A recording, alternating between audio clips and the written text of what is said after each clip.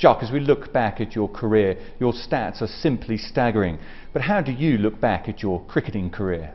I suppose you know the day that you start and you step onto the field for the first time, um, you don't dream about playing for 17 years, you know, like I have. So, um, you know, looking back, I, I, look back with a lot of fond memories.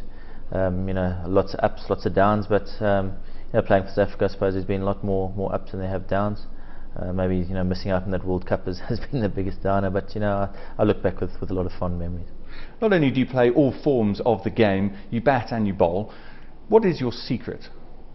I've been very fortunate. Uh, you know, I haven't had too many injuries over the over the past you know 17 years. So, um, you know, I've kept myself pretty fit. Uh, I think I've learned mainly how to manage myself. That that's been the key, and knowing when to push and, and when to hold and, and put in the time. So it's probably a combination of all those things. What for you are the main difficulties in being an all-rounder?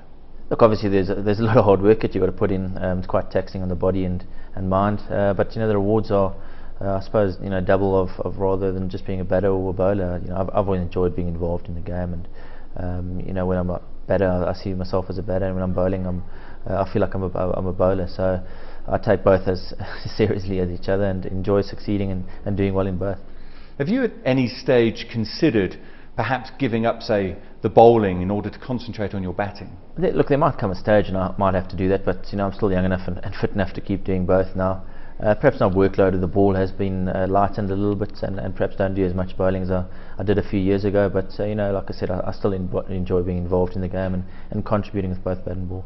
Does it help sometimes I mean speaking to some other all-rounders they, they talk about how it sometimes helps with kind of takes the pressure off one and, and the other so you can make a contribution if you fail with the bat you can come in with the ball and uh, is, is that something that you felt as well? Definitely um, you know as much as it is hard work um, you know I think you know one can rub off on the other I mean, you know, if you do well with the bats, you know, it, it, rubs off, and then sometimes you you're struggling a little bit with the ball, you you know can um, you know feel one sort of flowing into the other. So you know, it definitely has um, advantages of being an all-rounder, I suppose you could say.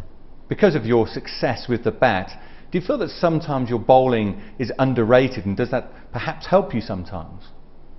I suppose it does. Um, you know, I think it just depends what role um, you know I'm asked to play, whether it's attacking or, or defensive. Um, know, generally when when um, you know you're bowling with the likes of Allan Donald, as I have over my career, you know, Dale Steyn, Morne Morkel, um, they're probably going to look to to try and score a few a little bit more and, and maybe take a few more chances than they, they would against them. So I suppose it uh, definitely has its uh, you know advantages being being underrated at times. Now after that golden era of all-rounders, the likes of Imran Khan, Richard Hadlee, Ian Botham, Kapil Dev, you've perhaps been the most consistent of the all-rounders. How have you managed that over such a long period of time? It, it is. It's strange now. I, I, can only put it down to the minor cricket. You know why there aren't perhaps as many all-rounders these days as, as there was in the past. Um, you know, it, like I said, it, it is hard work, and you know you've got to learn how to manage yourself. So um, I suppose guys are, are, really focusing on, on the, you know the one part of the game, and uh, you know you get a lot of part-timers that um, you know either bat a little bit or, or bowl a little bit. So um, like I said, managing managing your time and